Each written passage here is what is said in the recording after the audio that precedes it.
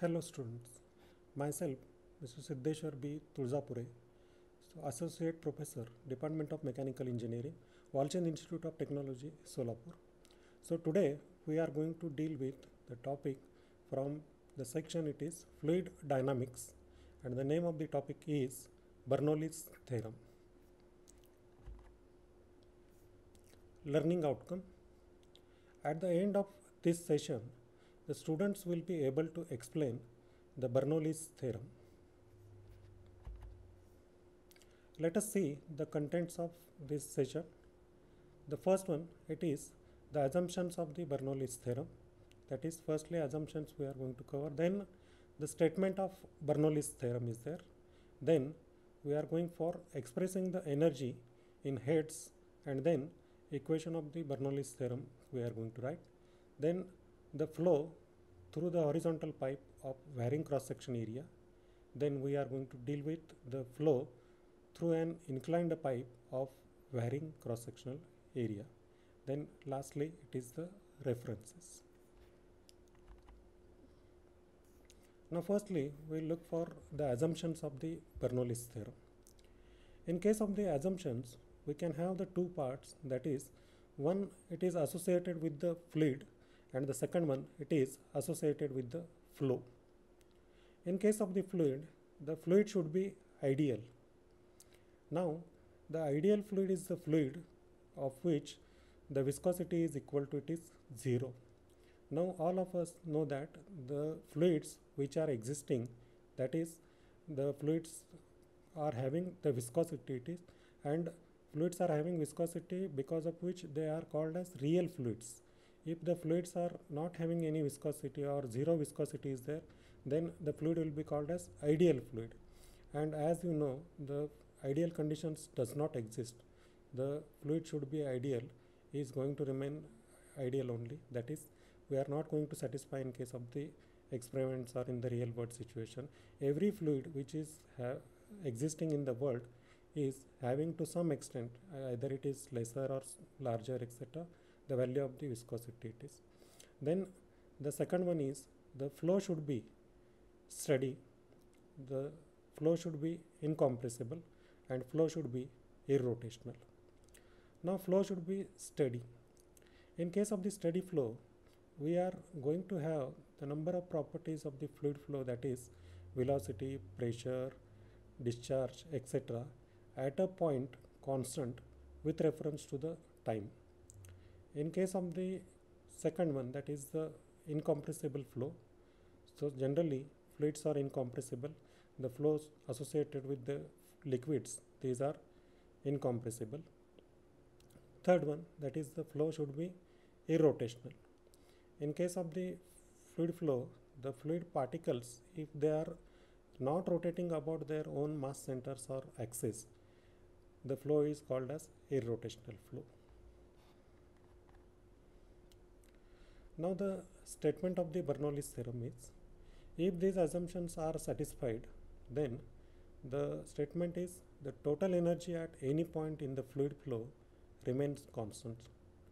Now we are having the different forms of energies. There are three different forms of energies. One it is the pressure energy, second one it is the kinetic energy and the third one it is datum or the potential energy. So these three forms we are having and in case of the fluid flow the summation of all these three is called as total energy and that should remain constant like that the statement of Bernoulli's theorem is and for this one we require the assumptions to be satisfied. Now expressing the energy in the form of the heads it is.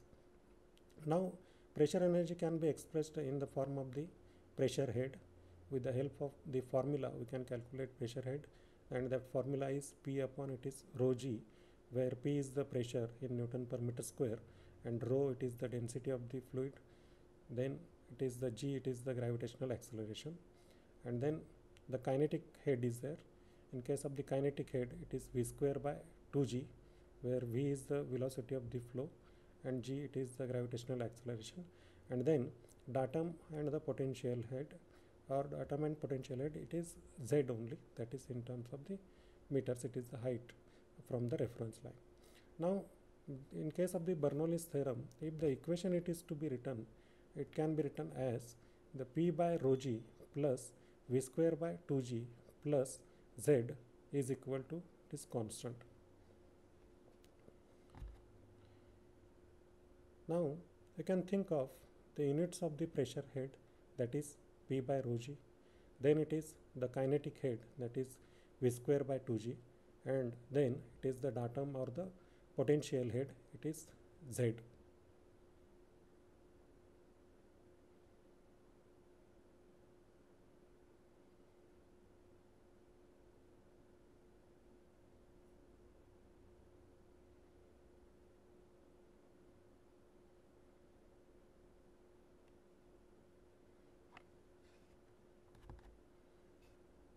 Now see the answer of this one. So the pressure head, kinetic head and the datum head, these are nothing but these are the energies which are represented per unit weight of the fluid. So we are knowing that the energy it is having a unit equal to joule. So joule means it is Newton per Newton meter. Then per unit weight of the fluid we are having that is Newton meter divided by Newton it will be Newton Newton will get cancelled and we will get the energy in terms of the meters of the fluidities and thus unit of all the heads is meters. Also we should remember that we are having the addition of the kinetic head, pressure head and the datum head. So the datum head already we are knowing that the unit of that unit is meter. So meter, meter, meter only the addition is possible. So we are going to have the pressure head in terms of the meters, then kinetic head in terms of the meters and then the datum head or the potential head also in terms of the meters. Now let us see a case of uh, fluid flow through a horizontal pipe of varying cross section area. Now the pipe we can observe the axis of that one it is horizontal and because of which we have called this pipe as a horizontal pipe and then if the pipe is horizontal we are going to have the left left hand side and the right hand side sections if we consider the datum head it will be same for both the sides that is left hand side and the right hand side. That is we can say that the datum is kept constant. If it is different it is not constant. So left hand side and the right hand side we are having. So we are going to call it as a datum is kept constant. And datum energy will be same at left hand side and right hand side. Now conversion of energy from one form to another. Now at left hand side section we can observe that the cross section area it is lesser. Hence the velocity it is more according to the continuity equation it is q is equal to a into v. When the discharge is constant if the area is lesser the velocity will be more. So if the velocity is more then kinetic energy it will be more as compared to the pressure energy. Now this comparison it has been done with reference to the left hand side and the right hand side. So at right hand side we can observe that the cross section area it is more. So the velocity it is lesser so according to that continuity equation and kinetic energy will be lesser as compared to the pressure energy.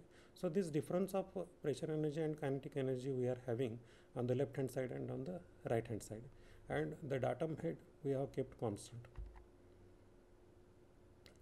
Now let us take a case of a fluid flow through an inclined pipe of varying cross section area. The cross section area it is on the left hand side it is lesser as in the earlier case. On the right hand side it is more as in the earlier case only. So only thing is that in case of the present situation we have made the center line of that one as inclined one instead of keeping it horizontal. So in case of this we are going to have the datum energy on the left hand side and on the right hand side it is going to be different so the left hand side center point it is at a higher distance from the reference line. And uh, in case of the right hand side we are having the center point near to the reference line. So the difference in the datum energy will be there. So if the comparison of the energies needs to be done in case of that one so the datum energy at LHS it will be more. Datum energy at RHS it will be lesser. So as area is lesser similar to the earlier case we will have the velocity more at left hand side and uh, kinetic energy will be more and kinetic energy will be lesser on the right hand side and pressure energy it will be lesser in case of the left hand side and pressure energy will be more on the right hand side. The pressure and the kinetic kinetic energy these are similar to the that of the for the pipe which is horizontal in the earlier case and now it has been made inclined and the datum energy difference we are going to have. So this these are the references which are used. Thank you.